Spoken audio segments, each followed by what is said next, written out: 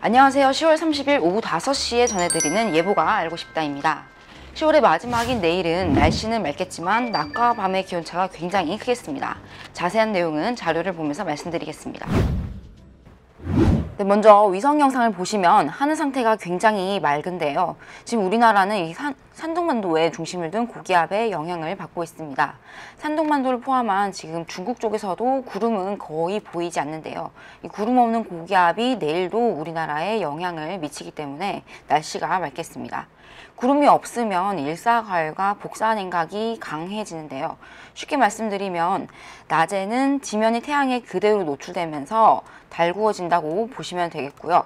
밤에는 지면에서 방출되는 에너지가 구름의 방해 없이 쉽게 빠져나가기 때문에 빠르게 식게 된다고 보시면 됩니다. 그래서 오늘처럼 내일도 복사냉각과 일사과열이 강하게 일어나면서 낮 기온과 밤 기온의 차이가 크게 벌어집니다. 그런데 오늘과 내일 작은 차이점이 있는데요. 보시는 그래프는 모델에서 예측한 서울의 기온 변화입니다. 모델에서 예측했기 때문에 실제 예보와는 다를 수 있는데요. 기온 변화 경향만 보시면 오늘 이게 여기가 오늘인데요.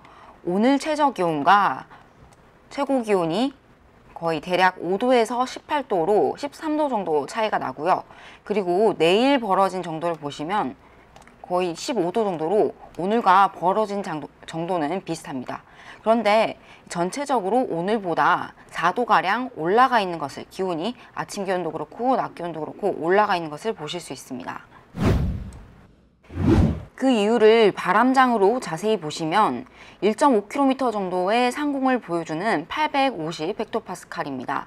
지금 오늘 아침 30일 9시에 우리나라로 들어오는 바람 깃을 보시면 대부분이 이렇게 거의 북풍에 가까운 북서 방향을 보여주고 있는데요. 여기 북쪽은 우리나라보다 위도가 더 높은 추운 지역이죠. 그래서 추운 곳에서 오기 때문에 차가운 바람이라고 보시면 됩니다. 그런데 이 바람이 시간이 지나면서 이렇게 왼쪽으로 눕는 것을 보실 수 있습니다. 서풍으로 바뀐 건데요. 이제 북풍보다 조금 더 아까 그 북쪽에서 오던 것보다 조금 더 남쪽에서 바람이 불어들기 때문에 아침보다 더 좀 덜 차가운 공기겠죠. 내일 낮까지도 보시면 계속해서 서풍에 가까운 바람이 불면서 오늘 아침 들어온 공기보다 덜 차가운 공기가 점점 우리나라 상공을 채우겠구나 이렇게 생각을 해주시면 되겠습니다. 네, 이렇기 때문에 오늘도 맑고 내일도 맑아서 일교차가 크게 벌어지는 건 똑같지만 전체적인 기온은 오늘보다 내일이 더 오르겠습니다. 특히 내일 낮 기온이 20도 이상 오르는 곳이 많기 때문에 일교차가 더 크게 느껴지실 텐데요. 그만큼 건강관리와 옷차림에 신경 쓰셔야겠습니다. 오늘 예보가 알고 싶다는 여기서 마치도록 하겠습니다. 감사합니다.